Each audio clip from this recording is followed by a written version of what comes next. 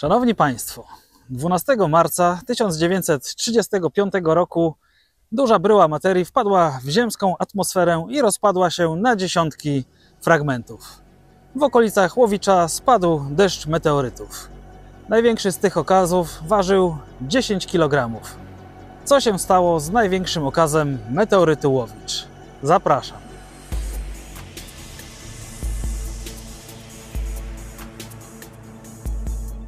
Do dzisiaj zebrano ponad 60 okazów z tego spadku i to jest jeden z tych okazów. Okaz ten posiada piękną, idealną skorupę obtopieniową. Na niej widzimy czerwony napis 527.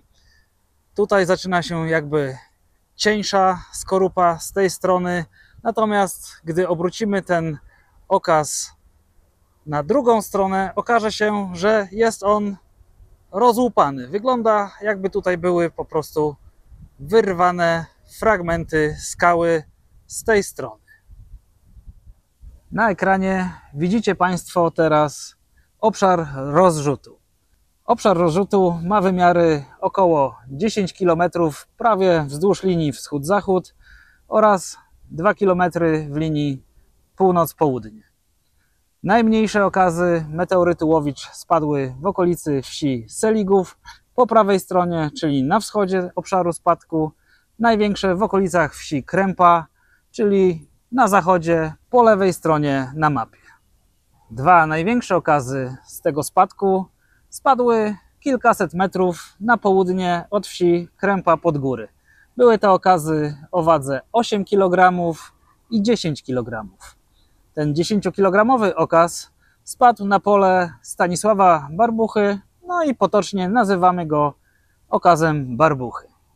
Nazajutrz po spadku ten największy 10-kilogramowy okaz odnalazł sąsiad Stanisława Barbuchy, Józef Bryszewski. Meteoryt ten zarył się w miękką, piaszczystą ziemię na głębokość około 25 cm w pobliżu polnej drogi. Dokładnie rok temu prowadziłem z kolegami poszukiwania meteorytu Łowicz na polu Stanisława Barbuchy. Skąd to wiem? Wiem to stąd, że rozmawiałem z wnukiem Stanisława Barbuchy, który pozwolił nam szukać na jego polu. Teraz widzicie Państwo przybliżone miejsce spadku tego meteorytu.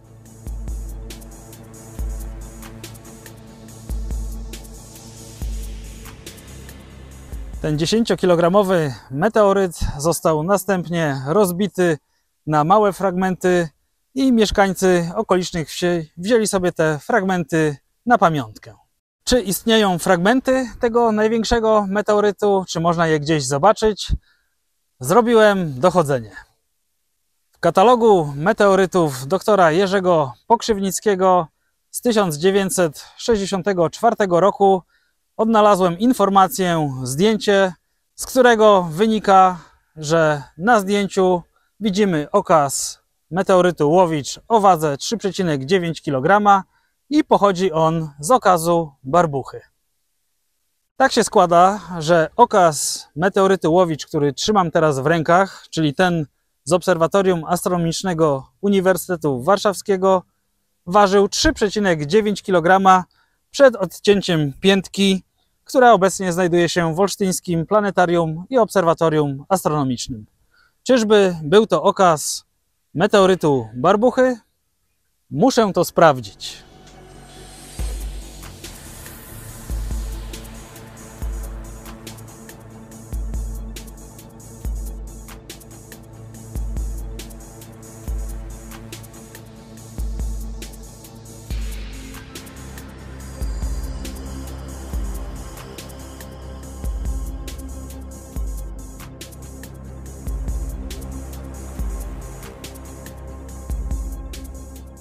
Jechałem do Muzeum Ziemi Polskiej Akademii Nauk w Warszawie i przywiozłem nasz obserwatoryjny meteoryt.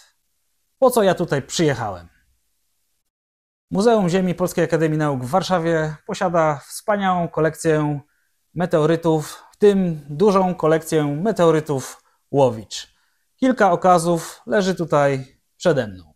W kolekcji Muzeum Ziemi znajduje się 7 okazów odłupanych od meteorytu Barbuchy.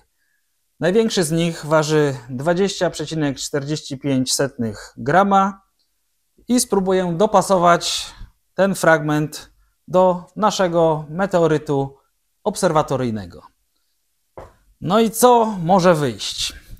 To, co może wyjść, to to, że ten fragment może pasować.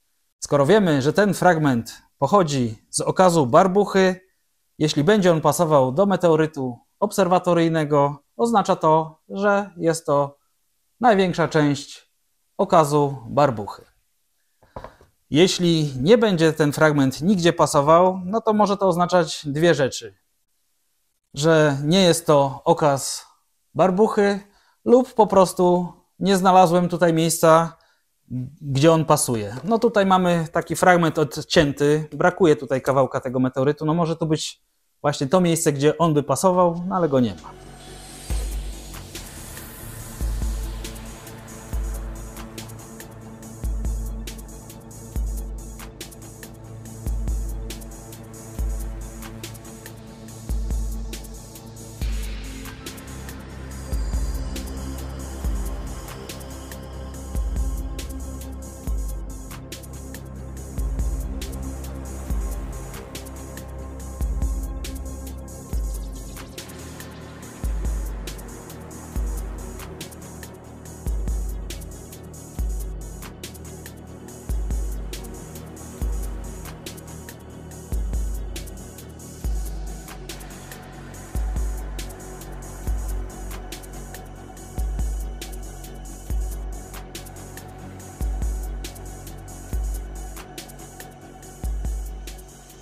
Ten fragment pasuje tutaj idealnie.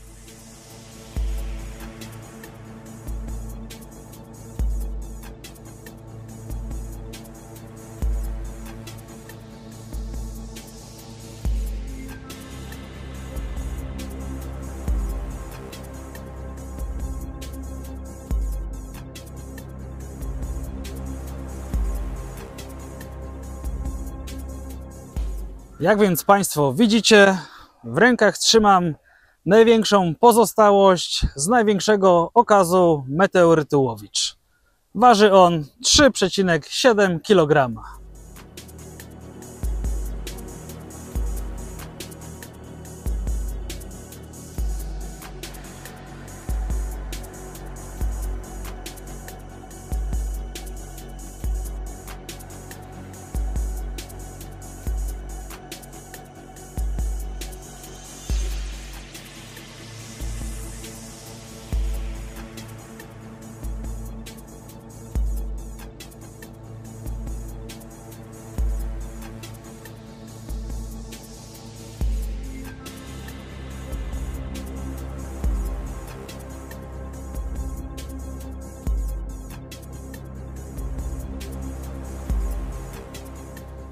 Dziękuję za uwagę i zapraszam do oglądania kolejnych odcinków w gabinecie astronoma.